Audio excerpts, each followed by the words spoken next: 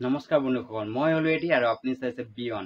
আজি আমি এই ভিডিঅ'ত আলোচনা কৰিম মই মোৰ ব্ৰিয়েডকেইটা গ্ৰ' কৰিবৰ কাৰণে মই কি কি বিষয়ে মই ধ্যান দিছোঁ মই ব্ৰিয়েডকেইটা গ্ৰ' কৰাৰ কাৰণে মই কি কি কৰিছোঁ তাৰ বিষয়ে সকলোখিনি এই ভিডিঅ'ত আমি আলোচনা কৰিম। তো বলক ভিডিঅ'টো আৰম্ভ কৰোঁ। তো বিয়েডকেইটা মই যেতিয়া মোৰ গ্ৰ' হ'বলৈ আৰম্ভ হৈছিল তেতিয়া মোৰ বয়স বেচিকেলি মোৰ সোতৰ ওঠৰ বছৰ বয়সতেই মই বিয়েডকেইটা মোৰ আৰম্ভ হৈছিল হ'বলৈ। তো এনে নহয় যাৰ মানে চৈধ্য ষোল্ল বা তেৰ চৈধ্য পোন্ধৰ বছৰ হৈছে বিয়াৰ্ড হ'বলৈ আৰম্ভ হৈ যাব সেইটো নহয়। এইটো ভিডিঅ'ত যদি আপুনি আহিছে আপোনাৰ বয়স তেৰ চৈধ্য পোন্ধৰৰ ভিতৰত পৰিছে তেতিয়াহ'লে আপুনি এইটো ভিডিঅ' আপোনাৰ কাৰণে নহয়। এই ভিডিঅ'ত মানে বেচিকেলি বিয়াৰ্ড কেতিয়া গ্ৰ' হ'বলৈ আৰম্ভ হয়? বেচিকেলি বিয়াৰ্ড ষোল্লৰ পৰা আৰম্ভ হয়। তো মোৰ ষোল্লটো আৰম্ভ হোৱা নাছিলে তো মই ভাবিছিলোঁ মোৰ বিয়াৰ্ড নহ'ব নেকি। কিন্তু পিছত যেতিয়া মোৰ সোতৰ বছৰ বয়স আৰম্ভ হ'বলৈ আৰম্ভ হৈছিলে তেতিয়া মোৰ লাহে লাহে অলপ অলপ বিয়াৰ্ড আৰম্ভ হৈছিলে। প্ৰথমতে মোৰ মুচ হৈছিলে তাৰপিছত এইখিনি অলপ হ'বলৈ আৰম্ভ হৈছিলে। তাৰপিছত লাহে লাহে গ্ৰ' হৈছে। এতিয়াও পূৰা গোটেইখিনি পূৰা গোটেইখিনি গ্ৰ' হোৱা নাই। তো হ'লেও মানে এতিয়া মোৰ বয়স যিমানখিনি হৈছে তাৰ বিষয়ে তো মোৰ বিয়েডকেইটা ভালদৰে গ্ৰ' হৈছে। তো মোৰ যেতিয়া বিয়েডকেইটা গ্ৰ' হ'বলৈ আৰম্ভ হৈছিল তেতিয়া মই মানুহে কৈছিল যে এনেকুৱা বিয়েড ৰাখিছ কিয় ৰাখিছ?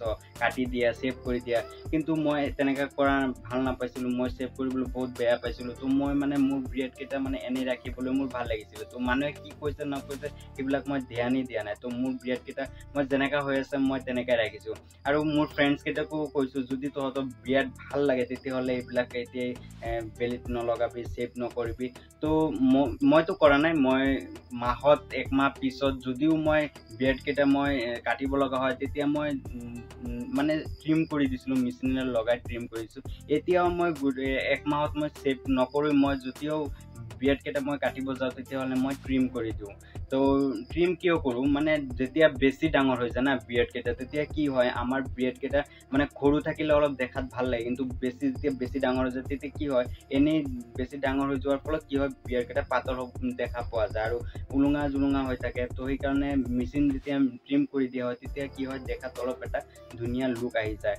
কিন্তু এইটো নহয় যে সদায় ট্ৰিম কৰিব লাগিব সদায় ট্ৰিম কৰি থাকিলেতো তেতিয়া দেখাত আৰু ভাল নালাগিব বিয়াৰটোৰ যোনটো মানে গুৰি আছে তাৰ সেই ঠাইখিনিতো গাঁঠিটো শকত হ'বলৈ দিব লাগিব ন? তো সেইকাৰণে কমচে কম এক মাহ সময় দিব লাগে যাতে এইটো আৰু অলপ গ্ৰ' হ'বলৈ দিব লাগে যাতে আৰু অলপ সেইটো দাড়িটো শক্তিশালী হ'বলৈ দিব লাগে। তো মই পূৰা একমাহ দি দিওঁ যাতে পূৰা গ্ৰ' হয়। তাৰপিছত যেতিয়া পূৰা গোটেইখিনি গ্ৰ' হৈ যায় তেতিয়া মই নাপিতৰ ওচৰত গৈ মই বিয়েৰকেইটা ট্ৰিম কৰি লওঁ।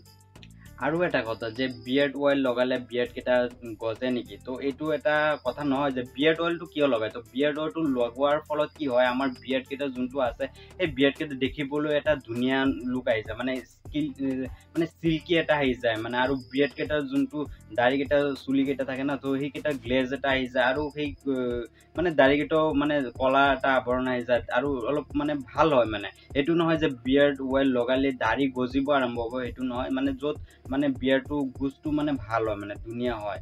তো এইটো নকওঁ যে বিয়াৰ্ড অইল লগাব নালাগে তো বিয়াৰ্ড অইল লগালে মানে বিয়াৰ্ডকেইটা দেখাত ভাল হ'ব না আৰু দেখাত ভাল লাগিব ধুনীয়া লুক এটা আহিব আৰু বিয়াৰ্ডৰ গুজটো মানে ধুনীয়া হ'ব শকত হ'ব। কিন্তু এইটো নহয় যে বিয়াৰ্ড অইল লগালেই যে দাঢ়ি হৈ যাব এতিয়া আপোনাৰ দাঢ়ি নাই এতিয়া আপোনাৰ একো মানে হোৱাই নাই অলপ অলপ হৈ আছে ইয়াত যদি আপুনি বিয়াৰ্ড অইল লগায় বিয়াৰ্ড চেম্পু লগায় গোটেইখিনি লগাই থাকে তেতিয়াহ'লে এইটো হ'ব জানো? এইটো নহয় যদি আপোনাৰ হৈ আছে মানে লাহে লাহে আৰম্ভ হৈ আছে তেতিয়া যদি আপুনি বিয়াৰ্ড অইল বা আপুনি বিয়াৰ্ড যোনটো চেম্পু এইবিলাক ইউজ কৰে এইটো হৈছে বিয়াৰ্ড কেয়াৰৰ ভিতৰত পৰি যায় যেতিয়া আপোনাৰ বিয়াৰ্ডকেইটা আৰম্ভ হৈ যায় তেতিয়া কি হয় বিয়াৰ্ডকেইটা কেয়াৰ কৰিব যেতিয়া কেয়াৰ কৰিব অট'মেটিকেলি ধুনীয়া হ'বলৈ আৰম্ভ হৈ যাব ন? তো এইটো কেয়াৰ প্ৰডাক্টৰ ভিতৰত পৰে এইটো নহয় যে বিয়াৰ্ড অইলটো লগালেই বিয়াৰ্ড একদম ধুনীয়াকৈ আহি যাব এইটো কথা নহয়। তো বিয়াৰ্ড অইলটো লগাৰ ফলত এইটোৱে হয় যাতে বুজটো ভাল হ'ব দেখাত এটা মানে যোনবিলাক দাড়ি থাকিব না সেই এটা চিল্কি আহিব এটা ধুনীয়া আহি যাব তো এইটো কথা হয়। আৰু লগতে দাড়িৰ লগত কি কথা আছে? দাড়ি যেতিয়া আৰম্ভ হয় তো ডাইটো এটা মেইন প্ৰধান কাৰণ হৈ যায় তো আমি যিমান খোৱা বোৱা কৰোঁ ন সেইটোৰ লগতো দাড়িৰ এটা সম্পৰ্ক আছে। তো ভাল খোৱা বোৱা খালেও দাড়ি ভাল হ'বলৈ আৰম্ভ হৈ যায়।